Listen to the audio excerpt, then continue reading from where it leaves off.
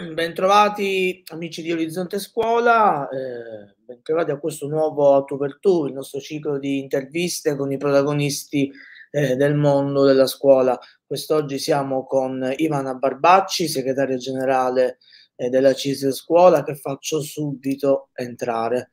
Buongiorno. Buongiorno.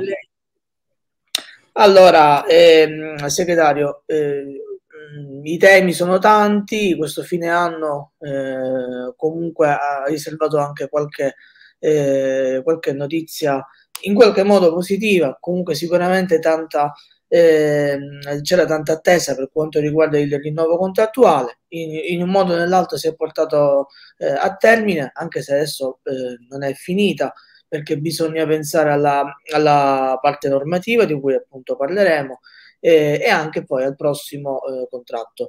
Ehm, le chiedo appunto un giudizio complessivo eh, su questo rinnovo contrattuale anche alla luce degli arretrati che già, eh, come sappiamo, in questi giorni eh, hanno fatto anche un po' discutere e che insomma stanno, stanno per arrivare nelle tasche dei lavoratori della scuola. Allora, abbiamo sottoscritto un, una parte del rinnovo contrattuale, come noto, che riguarda il 95% delle risorse delle leggi di bilancio 2019-2021.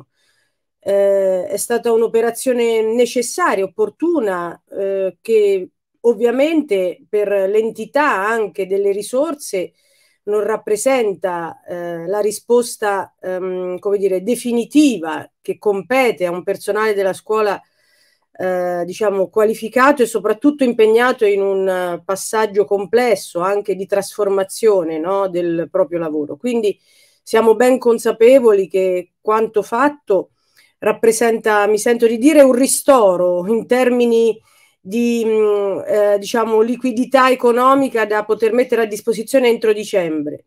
Sono arretrati che riguardano i tre anni, 19, 20, 21, per il 95%, torno a dire, eh, sono, ci sono state delle polemiche in queste, in queste ore sulle cifre, ci sono in alcuni casi anche delle inesattezze, però mi sento di dire che le cifre eh, espresse anche nei nostri siti o comunque nelle testate giornalistiche sono, sono cifre corrette, soprattutto perché sono indicate nell'ordo, no? E quindi poi ciascuno deve fare le proprie considerazioni basandosi sulla propria situazione fiscale. Quindi il netto non può essere definito attraverso delle tabelle che vanno bene per tutti. C'è una quota parte che deve essere ancora assegnata che è quella del 2022, quindi i colleghi non stanno vedendo l'emissione speciale del 2022 che vedranno a gennaio, così come manca ancora il 5% del, no, del 100% dei tre, dei tre anni di, di, di, legge di bilancio e per il personale docente i 300 milioni di euro che abbiamo come dire, liberalizzato per ciò che riguarda la valorizzazione del personale docente che troveremo pienamente nell'RPD con la seconda parte del contratto parte economica. Anche questo non è un'operazione sufficiente per poter dire che abbiamo allineato gli stipendi del personale docente e del personale ATA alle complessità e alle legittime aspettative. Però questa è un'occasione che non potevamo perdere, l'abbiamo colta, andiamo avanti perché il cammino è ancora lungo. Eh, infatti, comunque sappiamo che adesso eh, entra nel vivo tutta la, insomma, la questione della parte normativa. Ecco, secondo lei da questo punto di vista cosa bisogna fare proprio esattamente proprio come, su cosa bisogna puntare? Perché anche questo è un aspetto importante. La parte normativa è molto delicata, assolutamente sì, e ci è richiesta dal personale quasi con la stessa eh, necessità e urgenza di quanto non possa essere un aumento contrattuale economico. La parte normativa dovre, dovrebbe eh, intanto eh. semplificare, semplificare diciamo, i profili, le, le, responsabilità, indicare bene il perimetro e il confine dentro il quale si agisce, dentro il quale eh, si, si muovono i diritti e i doveri. Dopodiché serve attualizzare il contratto. Il contratto per come oggi è mh, scritto non è più rispondente a quelle che sono le reali attività che vengono svolte. Quindi eh, fa fatica in alcuni casi anche a tutelare pienamente eh, dal punto di vista giuridico e dal punto di vista contrattuale. Poi vanno fatte delle operazioni di eh, diciamo equiparazione dei diritti tra il personale docente, eh, personale ATA a tempo determinato e a tempo indeterminato. Vanno superati, va superato, eh, vanno superati i blocchi e i vincoli della mobilità. Questo lo può fare il contratto collettivo nazionale di lavoro dentro una logica in cui ci sono delle prese in carico no? Mm, in termini di tutele, ma anche in termini di garanzia, ad esempio di salvaguardia della continuità, ma non come punizione, ma come opportunità, come pari condizioni di reciprocità. Dopodiché vanno perfezionati alcuni passaggi, faccio solo un esempio, dal punto di vista delle attività funzionali all'insegnamento va chiarita l'esigibilità, va introdotta la formazione. La formazione deve essere collocata dentro gli obblighi professionali. Poi c'è tutto il paragrafo che riguarda gli ordinamenti del personale ATA che è particolarmente complesso perché lì eh, ci sono degli aspetti di carattere giuridico ma anche eh, legati ad una serie di eh, come dire, aspettative legittime ma anche la messa a sistema di un'anomalia come quella degli assistenti amministrativi facenti funzione, oltre al diritto legittimo dei DSGA di vedersi riconoscere le proprie responsabilità e quindi i propri carichi di lavoro. Questi sono i grandi temi che attraversano un po' la, la parte normativa sulla quale mi sento di dire non siamo ancora entrati pienamente nel vivo e quindi dai primi di gennaio ci, noi faremo di tutto perché possano esserci incontri serrati ma non affrettati, eh? attenzione, perché noi non dobbiamo chiudere a qualunque costo, noi dobbiamo chiudere bene cercando di migliorare il testo. Non potremmo stravolgerlo, questo lo, vorrei, lo voglio dire in modo tale che siamo chiari. Non è stravolgibile quel testo perché altrimenti ci vorrebbero due anni di elaborazione dal punto di vista tecnico, giuridico. Non, abbia, non ce lo possiamo permettere. Dobbiamo prendere quel testo, migliorarlo dal punto di vista della fruibilità, della chiarezza e della semplificazione, aggiungendo dei passaggi migliorativi. Sì, lei, segretario, ha poco fa toccato anche il tema della mobilità. Eh, a quanto pare una, ci potrebbe essere una novità con il decreto mille proroghe eh, perché è stata inserita insomma, una norma che intanto che va a, a, derogare, quindi intanto per il prossimo anno scolastico. Ora eh, dobbiamo ovviamente aspettiamo il testo definitivo e poi ovviamente ancora più importante il passaggio in Parlamento. Eh, però sappiamo che questo è un primo passo perché da settimane eh, voi insomma organizzazioni sindacali e amministrazione avete insomma una eh, una serie di incontri proprio sul contratto di mobilità che in qualche modo rimane sempre bloccato su questa storia dei vincoli, cioè si, fa, si fanno incontri, si discute si, sulle nuove eh, magari possibilità, però poi arrivando lì eh, ci si blocca. Quindi serve la volontà politica. Secondo lei potrebbe essere questa la volta buona? Allora, eh, noi l'abbiamo detto dal primo momento perché siamo sempre stati convinti che i temi dei vincoli, il tema del vincolo dovesse essere preso in carica una volta per tutte. Noi abbiamo, come ricorderà, sottoscritto un contratto eh, da soli, inserendoci nelle maglie di una normativa un po', come dire, eh, ambigua e questo ci ha permesso di poter eh, concedere a insomma migliaia di persone di poter fare la domanda di mobilità e bypassare dei vincoli. Poi è entrato in vigore una nuova legge, il decreto legge il decreto legge 36 che ha introdotto nuovi vincoli per i nuovi assunti e chiaramente questa partita può essere gestita, deve essere necessariamente gestita per legge, intanto eh, capendo, cogliendo il principio che i vincoli fanno male al sistema scolastico, oltre che alle persone. Chiunque è vincolato per legge soffre una impostazione coercitiva che non restituisce la libertà di eh, esercizio anche del proprio progetto di vita nel luogo dove vive o dove decide di vivere.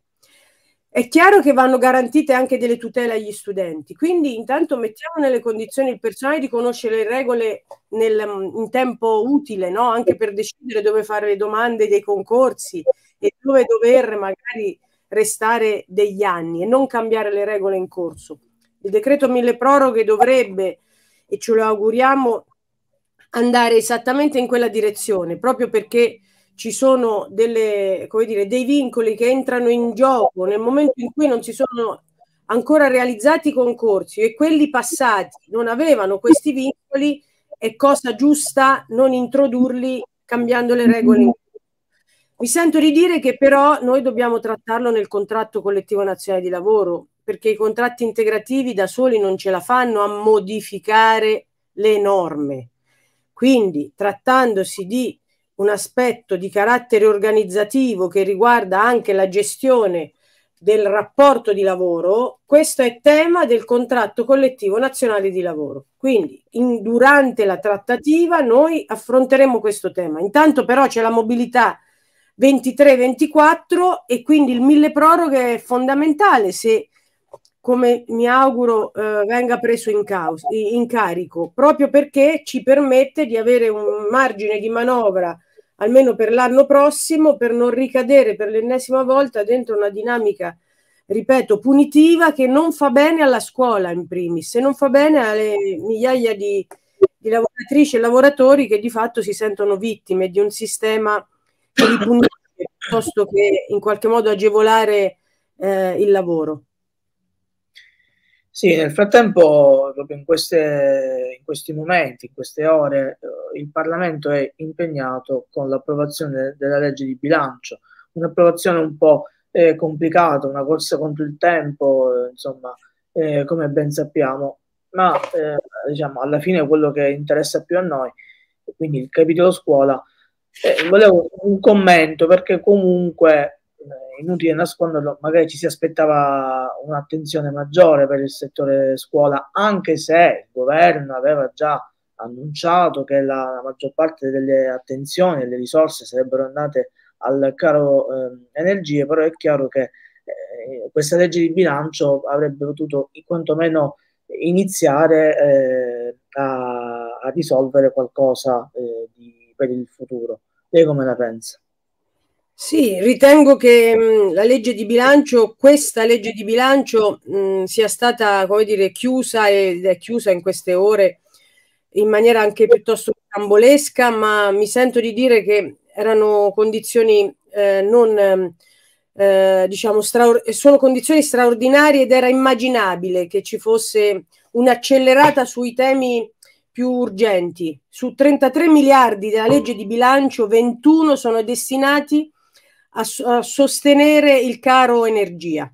Quindi solo questo dà l'idea no, di quanto non si possa eh, contare su risorse significative per poter impostare invece quel lavoro eh, che è molto importante e necessario e che invece andrà necessariamente impostato con altri atti.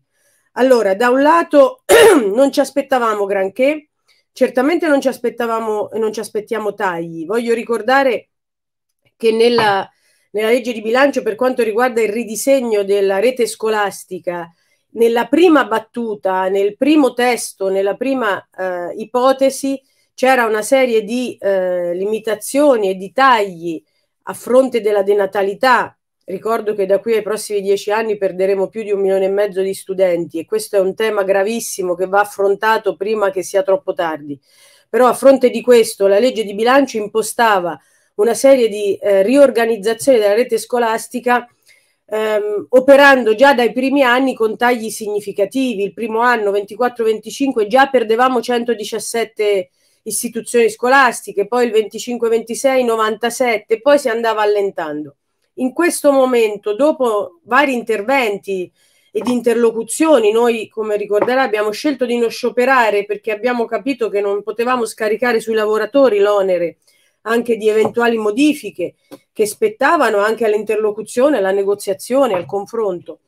Dopo gli interventi che abbiamo fatto a più voci, a più mani, l'operazione si è mitigata anche per quanto riguarda il taglio delle, delle istituzioni scolastiche, capovolgendo eh, diciamo, il paradigma. Quindi cominciamo con i primi tre anni dove i tagli mh, diciamo, sono fisiologici, non sono dragoniani come originariamente invece era previsto. Mancano però delle parti significative, mi sento di dire, che sono le risorse per rinnovare il contratto 22-24. Quello sì è un aspetto davvero importante che manca e che deve essere collocato in qualche dispositivo normativo che il ministro Valditara ci ha promesso, eh, su cui lavorerà eh, ad anno nuovo, cioè un decreto scuola, in buona sostanza. Serve un intervento specifico per la scuola che rilanci il sistema nella sua interezza, restituendo dignità da un lato di carattere economico e mettendo anche a sistema tutti gli interventi del PNRR, perché noi abbiamo un timore che dal PNRR ci sono molte risorse che sono però frammentate, sono disarticolate, creano carichi di lavoro pesantissimi alle segreterie, al personale docente, non producono però quel beneficio per il quale il PNRR magari è stato pensato, a cominciare da tutta quella che è la, il ridisegno delle, degli stili di apprendimento. Questo si può fare se abbassiamo il numero degli studenti per classe.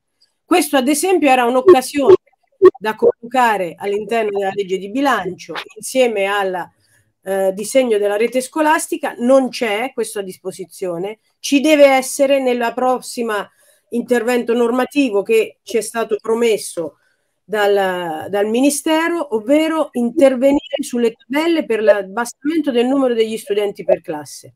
Poi vanno rifatte le tabelle per l'organico ATA. Noi non possiamo pensare di aver bisogno dell'organico Covid perché non riusciamo a tenere aperte le scuole. Cioè, il Covid andiamo oltre, serve uno, un organico ordinario che risponda alle necessità della scuola. Quello che c'è oggi non risponde all'ordinarietà del lavoro a scuola, quindi vanno modificate le tabelle che sono troppo vecchie, riguardano il 2007 e attualizzate alle complessità di questa fase.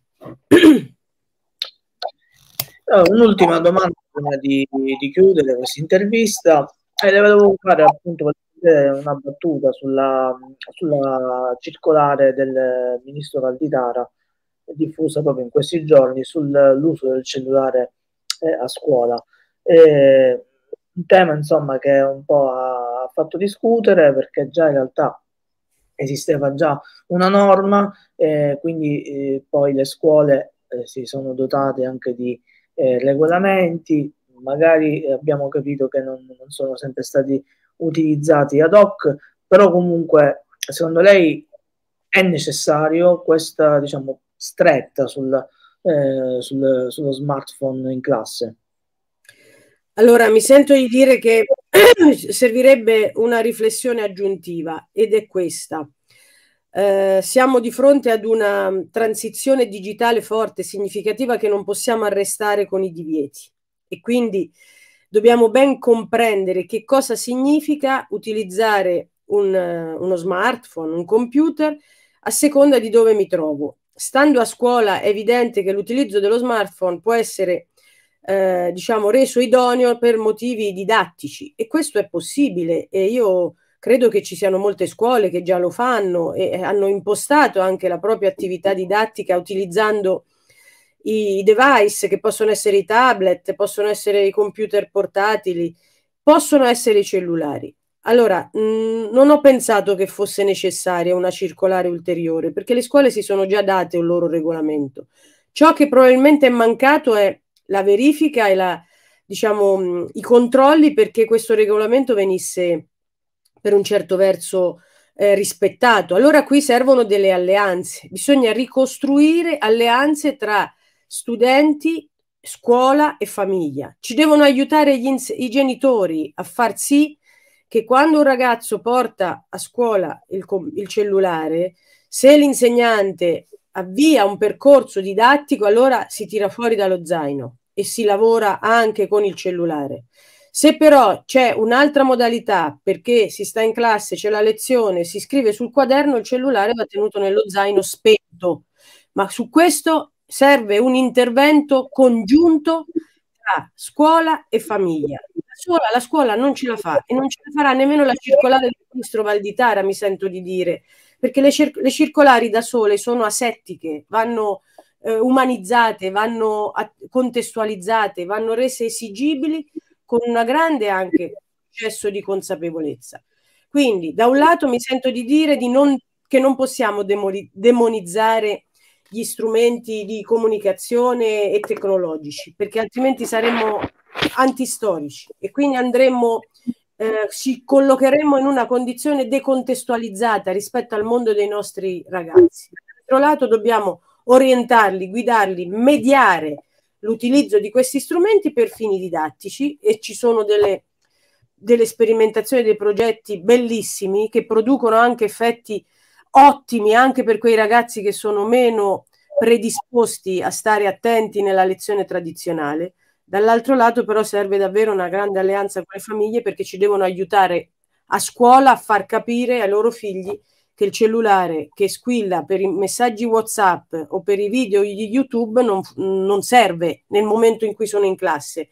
Così come non serve agli adulti, eh, mi sento di dire che forse dobbiamo anche noi dare qualche buon esempio perché quando ci troviamo in condizioni per cui dobbiamo ascoltare le persone, la prima cosa che facciamo è invece magari guardare il cellulare. Forse dovremmo già dare noi per primi la, l'esempio. Già, è tutto vero. Eh, grazie Ivana Barbacci, segretaria generale della CISL Scuola, eh, per essere insomma, stata con noi. Eh, vi do appuntamento a un nuovo eh, a tu per tu, una nuova puntata di A tu per tu, il nostro ciclo di interviste con i protagonisti del mondo della scuola. Buona giornata a tutti. Buongiorno, grazie.